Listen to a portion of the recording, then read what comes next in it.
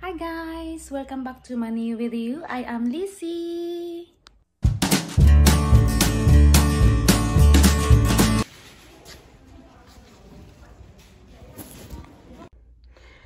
So ayan guys, nakabili na rin sa wakas. Ayan nilagay namin dito.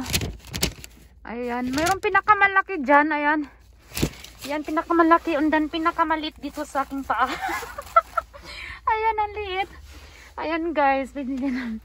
Ayan, okay na siya. So, tama na yan. Dati last year, ang dami kong pinamili. Pero ngayon, wala na guys. Kasi nga, ano, um, nabili ko na last year. Kaya mga decoration, nabili ko na last year. Yan na lang ang bi- binili namin ngayon. Okay, bye!